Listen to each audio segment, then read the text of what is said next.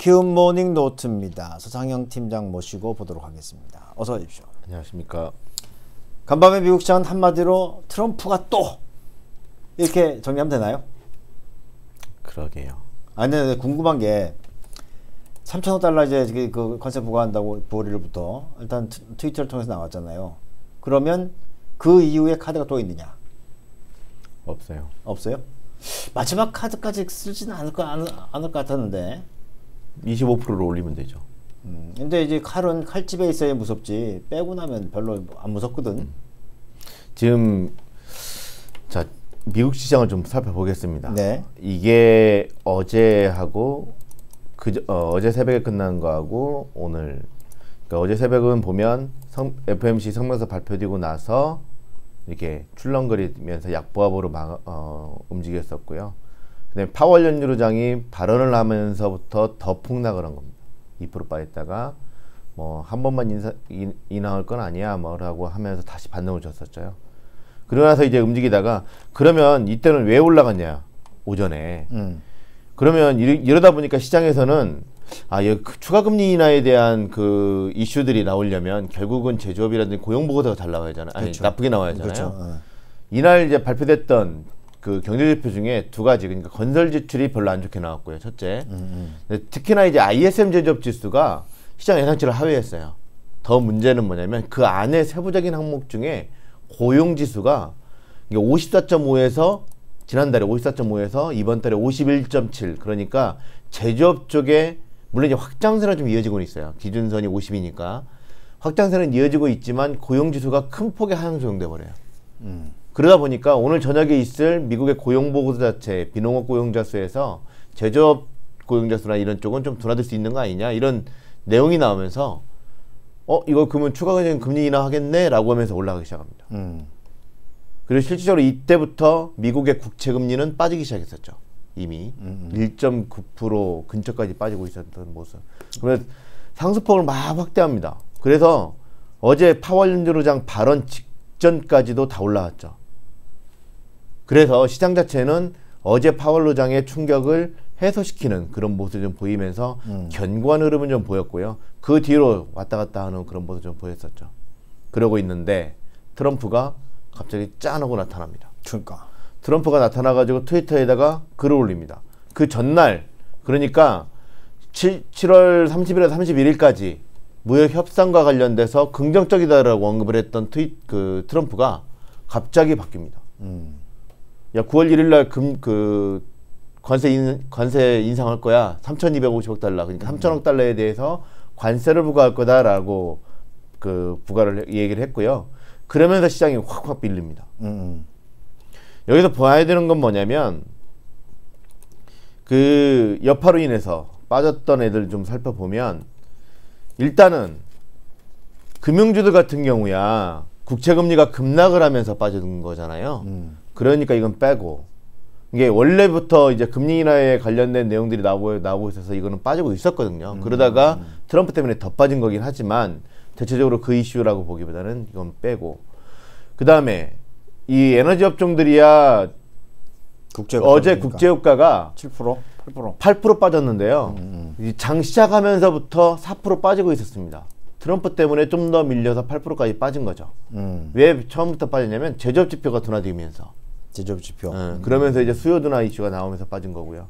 그다음에 여기서 봐야 되는 게 마이크론을 비롯해서 반도체 업종들, 애플, 그다음에 물류 회사들, 그다음에 그 의복, 갭이라든지 엘브랜드, 뭐 노드스트롬, 타겟 뭐 이런 애들 있죠.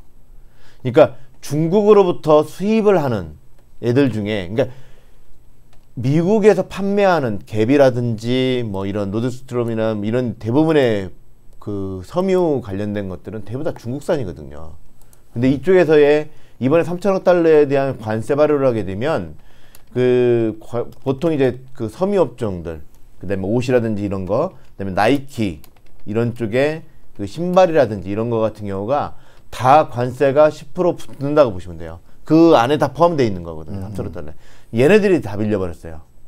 그래서 어제 보면 특징이 다우나 나스닥이나 이런 것들도 빌렸다가 왔다 갔다 했지만 대체적으로 이런 식으로 확 빠졌다가 그냥 1% 정도에서 왔다 갔다 했는데 중소형 지수, 러셀리전 지수가 줄줄줄 흘러내립니다. 음, 이제 그런 모습. 이제 그 결과가 이제 영향을 줬다고 보시면 될 것 같아요. 근데 거기다가 이제 애플이라든지 이런 소비 섹터들. 그러니까 애플 같은 경우는 따져놓고 보면 중국에서 생산되는 게 많거든요. 음, 음. 이제 그러다 보니까 여기 아이폰 가격 10% 올라가는 건 당연하죠 이제는. 네. 아니면 앱, 그렇게 아니면 애플이 10%를 그 손해 보고 판매를 하겠죠. 이제 그 문제가 걸리는 거예요. 그래서 지금 현재 3천억 3천억 달러에 대한 관세를 부과를 하게 되면 미국 경제가 어떻게 될 거냐 이 문제에 대해서는 계속적으로 나왔었던 내용입니다. 왜 그러냐면 6월 달에 이미 공청회가 시작됐었고요. 그 다음에 6월 말에 그 결과가 끝났고 7월 달에 일단은 뭐 9월 달에 9월 1일부로 관세부가 하겠다라고 언급을 했었거든요. 그때부터 이미. 그래서 이게 delay 된다라고 했었는데 그 일단은 뭐 G20에서 이 얘기 잘 됐고 뭐 해가지고 delay 될 거라고 전망을 했었는데 트럼프는 그와 관련돼서 언급을 하죠. 대신에 그때하고 달라진 게 있습니다. 그때는 3천 3천억 달러에 대해서 관세율이 25%였다라면 음. 트럼프는 10%로 얘기를 해요. 음, 음, 그게 나쁜 게 아니에요, 사실은. 음, 음, 음. 음, 그리고 원래 예견돼 있던 9월 달, 9월 1일부터 어, 관세부가 하겠다라고 언급을 했었고, 그 다음에 원래 25%였는데 이게 10%로, 근데 사실은 이렇게 말을 해도요, 이거는 사실은 따져놓고 보면 그냥 정신 승리, 정신 승리죠. 따져놓고 보면. 이게 좋, 좋게만 보는 거고요. 이게 원래 시장에서 전망했던 부분들, 그러니까 9월 달에 그 추가적인 뭐 협상이 진행될 거라고 전망을 했었기 때문에 음. 이 3천억 달러에 대한 관세 부과하지 않고 좀 delay 시켜 놓고 추가적인 관세를 계속적으로 언급을 하고 이제 협상을 하고 나서 어 이걸 처리를 하거나 뭐 이런 식이었는데 트럼프는 그냥 원래대로 가는 거죠. 협상은 협상이고 그다음에 관세 부과하는 건 관세 부과하는 거고 대신에 이제 원래 예상됐던 25% 대신에 10%만 하겠다 뭐 이런 식이라고 보시면 될 것 같아요. 너뭐그 얘기 듣고 나니까 칼을 빼긴 뺐는데 반만 뺐네. 그렇죠.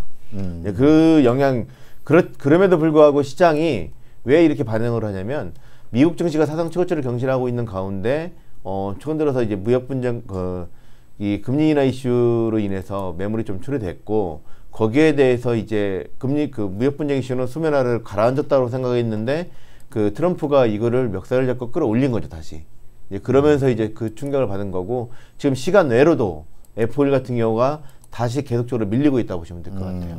그러니까 시장이 지금 현재 이게 팔고는 싶은데 어차피 기업이익 자체가 미국 같은 경우는 개선되고 있지 않은 상황에서 팔고는 싶은데 트럼프가 그 용인을 해준 거죠. 의미를 음. 그러니까 그 보면 트럼프의 트위터를 보면 트럼프는 정말 뛰어난 대통령인 것 같습니다. 왜냐면 미국 증시가 막 올라가가지고 버블 이슈가 불거지고 어쩌고저쩌고 얘기하면 이런 식으로 시켜주고. 어, 하락을 하게 만들어주는 요인들을 막 만들어주고 음. 미국 증시가 막 밀려가지고 막 큰일 났다라고 생각을 하면 뭔가 또 내보내서 주식시장을 또 끌어올리고 그런 상황이라고 보시면 될 것 같아요. 뭐 듣고 보니까 그, 그 사람이 작전 세력 같네. 그렇죠. 근데 이제 이제 그 30초밖에 안 남았으니까 우리는 어떻게 돼요? 우리는 밀리겠죠. 음. 어 그리고 더 문제가 좀 생겼습니다. 이제 코스닥 쪽 보면 지금 시간외로 어, 장 시작 전에 3% 넘게 급락을 하고 있는데 신라젠 신라젠 악- 악재가 나왔어요. 악재성 재료가 나오면서 이제 매물이 나오고 있는데 이 영향이 또 얼마만큼 또 영향을 주는지 좀 챙겨봐야 될 것 같고요. 요즘에 바이오들이 어, 너무 힘들어요. 근데 이제 뭐 나올 건 다 나왔다라고 보고 일단 뭐 좀 더 지켜봐야 될 것 같고요. 코스피 지수 같은 경우는 2,000포인트를 일단은 하회할 가능성이 좀 높다고 봐야 될 것 같고요. 그 이유가 문제입니다. 그 이후에 과연 중국 쪽에서 어떻게 대응을 하는지, 그 다음에 그 12개월 forward PBR 0.8배 미만, 그러니까 금융위기 이후에 바닥 확인을 좀 계속적으로 얘기를 하고 있는 2,000포인트 미만으로 떨어졌다라면 여기에 대해서 외국인이 어떻게 대응을 하는지 여부에 좀 초점을 맞춰야 될 것 같습니다. 그 결과에 따라서 시장이 바, 어, 낙폭을 좀 축소하거나 아니면 그러니까 장 초반에 시초가에 크게 하락을 한 다음에 다 양봉을 보이면서 낙폭을 축소하거나 또는 여기서 더 밀리는지는 좀 더 지켜봐야 될 것 같고요. 중국 정부에 달려 있다고 보시면 될 것 같아요. 뭐 밀리면 걷어 올리긴 하겠지만 그 탄력이 좀그 낫지 않을까. 예. 그렇죠. 근데 이제 또 하나가 있습니다. 오늘 10시에 다 됐어요. 예, 그 10시에 그 일본 가기. 일본 예. 강요 그게 어떻게 바뀌는지에 따라 달라질 것 같은데 음. 그 이슈가 일단은 뭐 계속적으로 발목을 잡고 왔었기 때문에 그걸 만약에 어느 정도 해소가 되면 음. 뭐 움직일 것 같습니다. 알겠습니다. 오늘 여기까지 모시도록 하죠. 고맙습니다. 감사합니다. you